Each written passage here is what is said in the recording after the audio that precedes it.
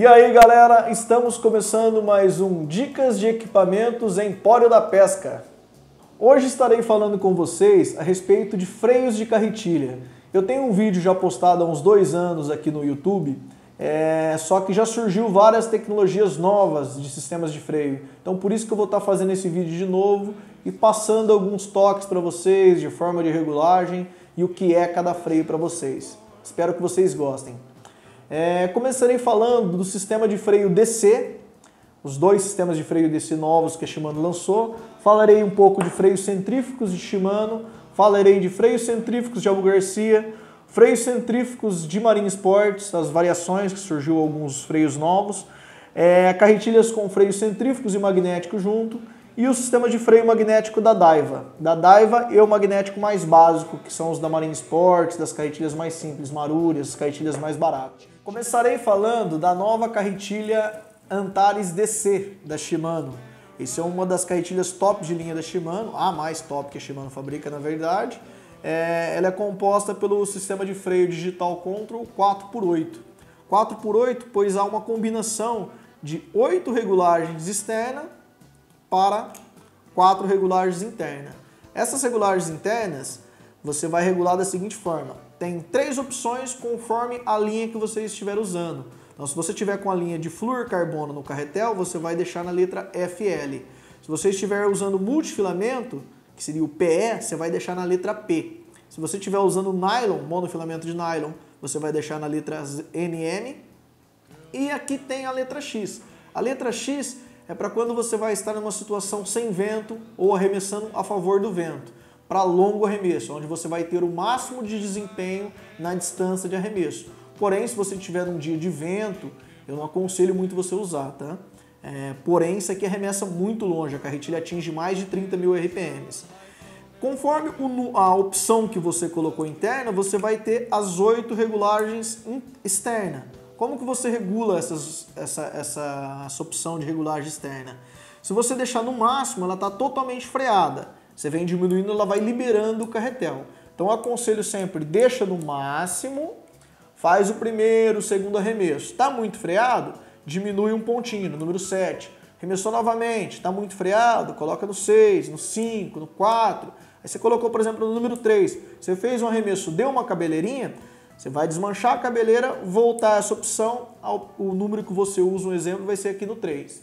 Então, você achou a tua numeração, raramente você vai mudar isso. Só se às vezes você pegar um dia de muito vento, você dá uma freadinha a mais. É, basicamente é isso o sistema de freio dela. Essa carretilha vocês vão observar que ela não tem regulagem fina. Então a confiança é tão grande no sistema de freio digital que eles eliminaram a regulagem fina da carretilha. Tá? Essa aqui, por exemplo, está com uma linha de nylon, então deixa na letra NM, letras NM e regula só por fora.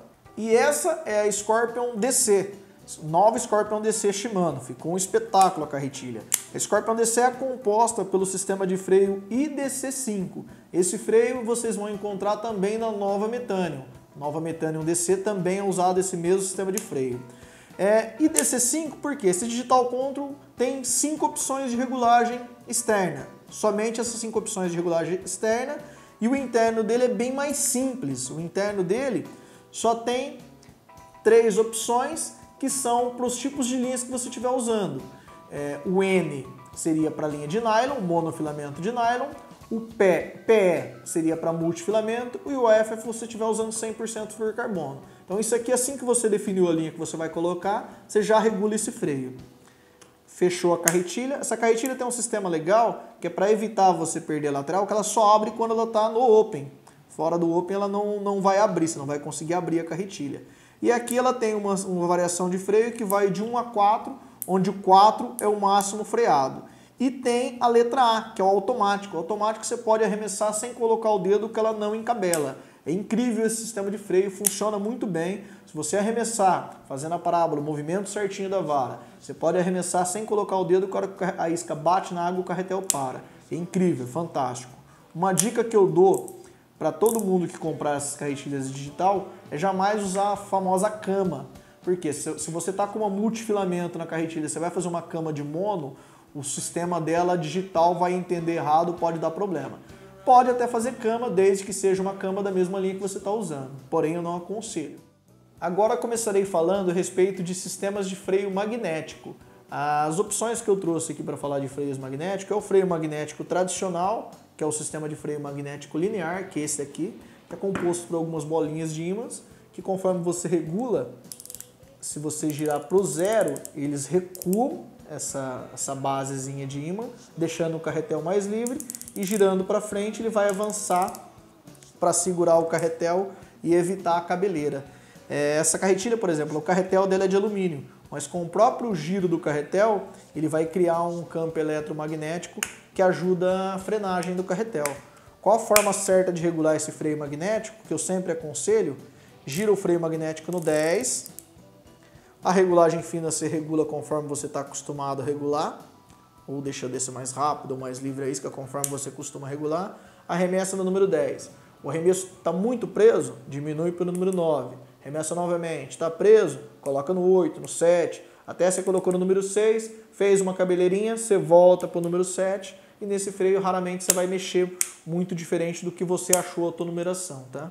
Às vezes na primeira regulagem que você der aqui, que você achou a numeração, dificilmente você vai mexer. Continuando nos freios magnéticos, estarei falando no sistema de freio magnético da Daiwa, que eu considero o melhor sistema de freio magnético que tem no mercado, que é o MagForce Z. Esse sistema de freio funciona da seguinte forma: ele não trabalha como linear avançando e recuando o ímã num carretel. Ele trabalha com polaridades, então aqui ele tem dois círculos de ímã, onde essa peça, que é o freio, que funciona tipo uma campana, é encaixada entre os dois freios. Esses freios, se você deixar no número zero, esse freio ele vai estar tá positivo com positivo, negativo com negativo. Isso não freia o carretel, o carretel fica totalmente livre. Conforme você começa a acionar o freio, ele vai dando positivo com negativo nos ímãs para frear o carretel. Que ele vai funcionar da seguinte forma: o carretel girou rápido demais, ele vai fazer a cabeleira, ele aciona, freia o carretel e depois volta para o lugar. Então ele freia só quando o carretel gira rápido demais. É um sistema perfeito, arremessa legal, evita bem a cabeleira e o sistema de regular é igual eu expliquei o linear. Aciona no máximo, regula o mancal, a regulagem fina, deixa no máximo. Arremessa, está preso demais, vem liberando gradativamente. É simples demais de regular, você não precisa de abrir a carretilha para regular esses freios magnéticos. E agora falarei dos freios centrífugos. Freio centrífugo, vou começar falando do freio centrífugo é, mais antigo, né, que tem no mercado, que é o sistema de freio tradicional da Shimano, SVS ou, ou VBS, que é basicamente o mesmo sistema de freio. Freio centrífugo tradicional, apesar de parecer tão simples, é muito eficiente, é um dos meus prediletos, tá? Então, o freio centrífugo tradicional é composto, no caso a Shimano, com seis pinos. Quando o pino está para dentro, travado para dentro, ele está desligado. Sempre quando o pino estiver para dentro, ele não vai estar tá funcionando. Quando você puxar para fora, acionar ele, fez esse movimento, o freio está acionado. Aqui ele vai estar tá freando. É, funciona da seguinte forma: com o próprio giro do carretel, a força centrífuga faz com que o freio abra por completo na hora do arremesso, esse freio que você acionou, e freia o carretel nessa campaninha do lado de fora aqui. Então o carretel girou a mais que precisa, ele vai estar tá freando o carretel. É, um freio dá uma diferença gritante, gente. Então, o que, que é o ideal para vocês regularem esse freio? Aciona três freios, ou seja, metade dos freios, se a carretilha tiver 8, aciona 4, se a carretilha tiver 4, aciona 2. Eu sempre aconselho começar com metade dos freios acionados. Aciona-se três freios, fecha o carretel, regula a regulagem fina conforme você costuma regular, faz o primeiro, segundo, terceiro arremesso. Se o freio tiver se o carretel estiver muito freado, se o arremesso estiver indo muito perto, você abre a carretilha e freia um dos freios é, fecha um dos freios. Fechou a carretilha novamente com dois freios. Arremessou. Tá muito freado ainda? Libera mais um. Trava mais um freio. E vice-versa. Você estava com três freios acionados. Você está arremessando. Você vê que o que está começando a fazer cabeleira, fazendo cabeleira demais, fez uma, duas, três cabeleira, você abre o carretel e aciona mais um freio. Vai para quatro freios, vai para cinco freios até você achar que o teu arremesso está sem problema de cabeleira. É muito eficiente esse freio, tá galera? Continuando na linha de centrífugos, a Shimano lançou o sistema de freio SVS Infinity, que é basicamente o sistema de freio centrífugo melhorado. eles conseguiram adicionar uma regulagem externa. Então como que vocês regulam esse freio? Freio centrífugo SVS Infinity, geralmente é composto por 4 ou 6 buchas, que quando vocês acionam ele, no caso essa curada em particular, ela puxa lateral. Alguns freios você levam ele para trás. Quando o freio está livre, balançando, significa que ele está acionado. Quando ele está travado, sem movimento, ele está desligado. Então, que você pode acionar quantos freios quiser. Eu aconselho, igual o outro freio, começa com metade dos freios acionados. O legal dessa carretilha, com a regular, desse sistema de freio, essa regulagem externa permite você, com um freio só, ter uma variação até de seis regulagens é, externa. Como que funciona esse freio? Ao contrário do centrífugo antigo, que ele freava para fora, esse freio ele freia para o lado de dentro. Então o que freia ele é essa cabecinha interna que ele vai frear, frear nessa campana que fica para o lado de dentro. Então essa frenagem para o lado de dentro ele freia muito mais do que o freio para o lado de fora. E com um freio só, você tem uma, uma opção de seis regulagens. Então regula igual aquela lá, aciona dois freios, aciona metade dos freios, trava o carretel, aciona no máximo aqui, faz o primeiro, o segundo arremesso, vem liberando gradativamente. Se por acaso você chegou lá no ponto número 1, um, que é o, o totalmente livre, e se acha que está freado demais ainda, abre a carretilha, desliga mais um freio. Aí com um freio vai fazer a mesma coisa, volta no número 6, vem liberando o freio gradativamente. É, mantendo nesse freio, eles lançaram o SVS Infinity 2, que é basicamente o mesmo sistema, só que um freio que ficou melhorado, ele é mais fácil de acionar e eu acho que a capacidade de frenagem dele ficou maior. Então o sistema, a funcionalidade dele é tudo igual, o outro, porém eu acho que a eficiência dele é um pouco maior. Outro sistema de freio centrífugo, por exemplo, que tem na Abu Garcia, nas Abu Garcias Revo, é esse sistema de freio centrífugo, você não precisa de abrir para regular. Ele, você regula ele só por fora, é muito eficiente. Então, no caso, esse ele é composto por quatro buchas, que quando o carretel gira mais que precisa, as buchas avançam e freia nessa campana que fica aqui reto na, na lateral, ó, bem retinho na lateral. Então ele dá uma variação muito grande de regulagem para vocês. Ele vai de, costuma ter 20, 24, 30 opções de regulagem.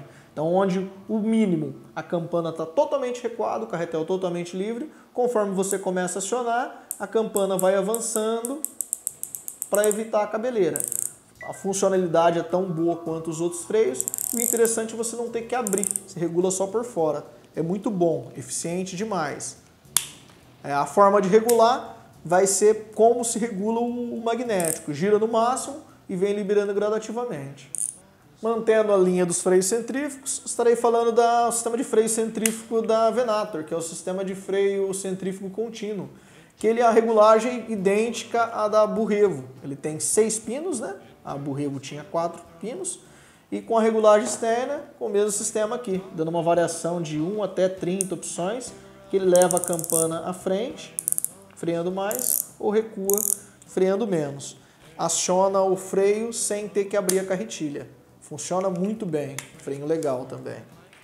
Essa, essa é a Venator, nova Venator S, também é um sistema de freio centrífugo contínuo, regula também ponto a ponto, só com regulagem externa, porém ela tem quatro pinos de, de acionamento, quatro sistemas, quatro pinos para acionamento, que vocês regulam por fora também, que ele avança ou recua o freio. Essa é uma outra carretilha, que é a carretilha Katana, que também tem um sistema de freio centrífugo um pouco diferente.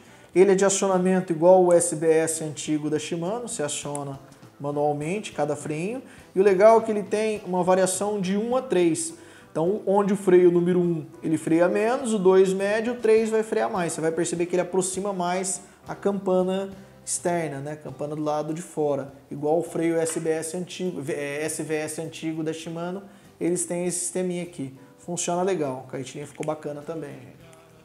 E falando em carretilhas de perfil alto, já muita gente acha que não tem esses recursos de freio as carretilhas de perfil alto, mas tem. É, diferente das de perfil baixo, às vezes é um pouco mais complicado para regular, mas tem. Essa aqui, por exemplo, é uma Calcutta 400, que ela tem um recurso de freio centrífugo, porém você tem que desmontar a carretilha para regular. Então você abre ela da seguinte forma, solta os três parafusos aqui, ela vai sair, você saca a lateral dela inteira, segurando o carretel, tira aqui, os freios centrífugos dela estão aqui, ó. do lado contrário da manivela. Mesma coisinha, os pinos aqui vocês acionam quantos pinos vocês acharem necessário, dois ou três pinos. Para encaixar, simplesmente encaixa o carretel na base da, da lateral da carretilha. Encaixou na base.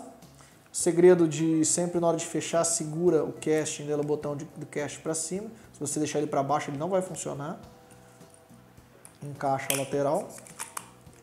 Girou a manivela, está encaixado. Só apertar os parafusos. Tem algumas versões de, de carretilha de perfil redondo, de Calcutá, que ela tem um botãozinho que você só, só solta o botãozinho e já pula a lateral daqui. Mas essa em especial tem que tirar o carretel para regular. Algumas daivas com regulagem com freio magnético vocês vão encontrar também. E essa aqui também é uma outra carretilha de perfil redondo, que também tem freio centrífugo, só que esse freio centrífugo você não tem acesso, não, não mexe ele. No caso, essa aqui ela tem dois freios centrífugos, vocês vão ver aqui. Vou abrir só para mostrar, vocês não precisam de acionar. De, de acionar. Então ela tem dois freios que elas ficam direto acionados, tá? As carretilhas mais simples costumam ser dessa forma. A Bugarcia antiga era assim, acho que as novas estão, já tem, tá tendo a opção de abrir para regular também, se você quiser é, Fierro, essas carretilhas mais simples, tem esses dois sistemas de freio centrífugo que já ficam acionados, tá? Então tem o freio, apesar de vocês não terem, não terem que mudar o freio, ela tem o sisteminha de freio. É, e existe também, se vocês vão encontrar no mercado, a mistura dos dois freios, o magnético com o centrífugo. Tem várias marcas que fazem. No caso, essa aqui é uma Bugarcia Revo Rocket, que ela tem os dois sistemas de freio. Então você vai abrir ela aqui, ela tem o, o centrífugo, o centrífugo tradicional, de pino, que é onde você tem que acioná-los, e junto o magnético. Então você pode acionar dois, três freios centrífugos e fechar a carretilha. Aí o que eu já aconselho é regular o freio magnético diferente quando ela tem os dois freios. Você deixa o freio centrífugo e o freio magnético totalmente desligado, já que o freio magnético que tem consta geralmente nessas carretilhas é o freio magnético linear. Elas não têm, não, acho que eu nunca vi pelo menos, é, carretilha com duplo sistema de freio que tenha o sistema magnético MagForce, que é um, eu, eu, eu, acho que é o sistema de freio magnético mais eficiente. Todas elas que têm os dois sistemas de freio, é o freio, freio centrífugo tradicional junto com o freio magnético linear.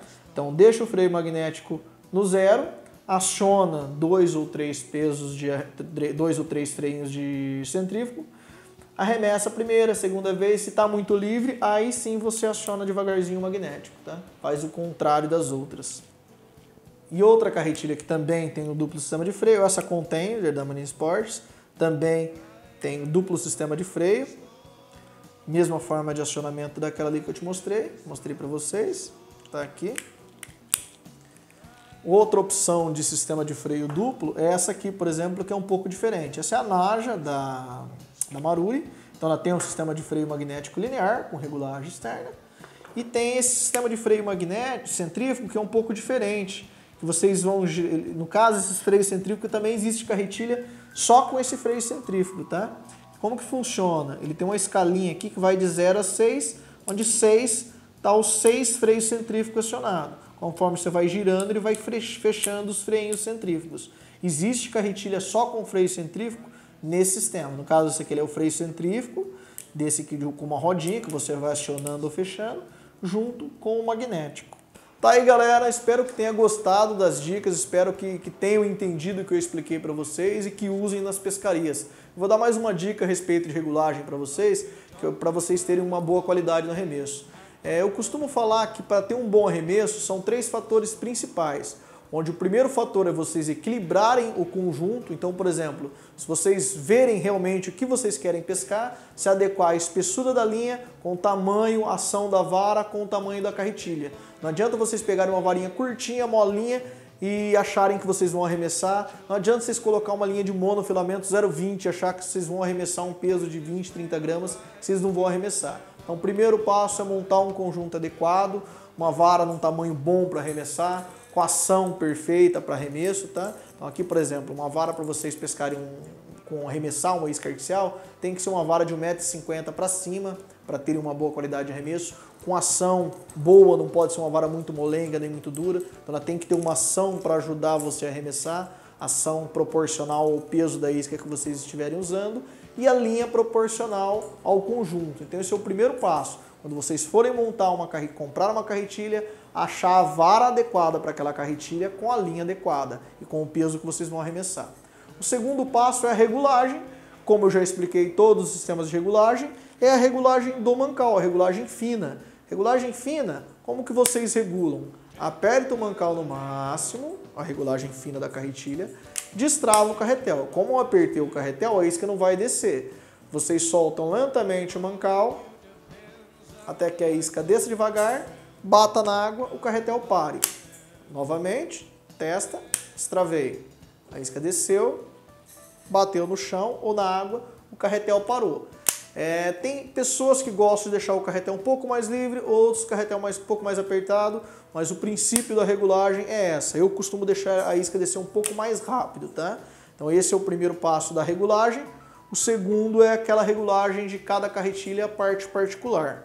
E o terceiro passo de um bom arremesso é o posicionamento de arremesso, o posicionamento que vocês vão fazer. É, Para ter um bom arremesso, aconselho sempre deixar a vara inclinada, tá? Então no caso aqui eu peguei uma vara só com bipartida para fazer um movimento legal para não bater a ponta da varinha no lugar. Então para ter um bom arremesso, nunca deixa a vara em pé, sempre a vara inclinada, tá? Com a manivela para cima. Eu não costumo colocar um indicador no gatilho, eu aconselho mais colocar o dedo médio, que dá uma firmeza melhor. Sempre o indicador aqui para frente, ó. Sempre inclinado, se a pessoa usar a carretilha de manivela esquerda, a manivela vai ficar para baixo. Se você usar a carretilha de manivela direita, a manivela vai estar para cima. Por que sempre esse, esse posicionamento? Te proporciona uma, um movimento melhor na hora do arremesso. Qual o movimento ideal para o arremesso? Você pode trazer a vara bem para trás, desde que a vara termine aqui na diagonal, um ângulo de 45 graus. Então, o movimento que você vai fazer, quando for uma isca artificial, um peso leve, com uma mão só você vai conseguir arremessar. Esse é o movimento que você faz. Você pode trazer a vara bem para trás e você limita o movimento do cabo aqui no teu antebraço, para que a isca saia perpendicular à água. Se você fizer esse movimento, a tendência da isca vai ser subir e cair aqui no teu pé. E se abaixar demais a ponta da vara, a isca vai bater aqui no teu pé e vai fazer uma cabeleira gigante. Então o ideal é isso aqui. A carretilha tanto bem regulado, você estando com o conjunto equilibrado, se você fizer esse movimento correto, então arremessou, arremessou, teu dedo relando em cima do carretel. A hora que a isca bater na água, teu dedo só vai apoiar suavemente o carretel e dar um tapinha na manivela. Esse movimento aqui, se você fizer o movimento certo e a carretilha regulada, a hora que a isca bater na água, o carretel já vai estar praticamente parado. Vai diminuir demais a chance de você fazer cabeleira. E para precisão de arremesso, sempre fazem o seguinte, para onde vocês forem apontar, para onde vocês forem arremessar, primeiro direciona a vara sempre de frente com o nariz. Então, por exemplo, se você está arremessando aqui, você está nessa posição. Você vai arremessar para o lado, você vira o corpo todo na frente do nariz, apoia a ponta da vara para frente, vem, automaticamente a vara volta para aquele lugar que você apontou. Então, apontou aqui, fez esse movimento, só isso daqui. Olha como o movimento fica bem melhor com a vara inclinada se eu tivesse com ela reta. Ela reta, olha como o movimento do, do braço fica limitado. Aqui já o teu movimento fica muito mais fácil, ó. dá muito mais mobilidade para você arremessar. Isso com uma isca artificial. Se for uma boia ou uma chumbada, você vai fazer o mesmo movimento, porém com duas mãos. Você coloca uma mão no cabo da vara, destrava e faz esse movimento. Vai ser com as duas mãos. Sempre com a vara inclinada, sempre deixando a vara no ângulo de 45 graus aqui. Tá aí, galera? Espero que eu tenha ajudado vocês. Ficou meio grande esse vídeo, mas um grande abraço Precisando qualquer coisa, acesse emporodapesca.com.br, estaremos aqui para ajudá-los. É, curtam nossa página no Facebook, se inscrevam aqui no, no YouTube e precisando nos procure. Grande abraço, até a próxima.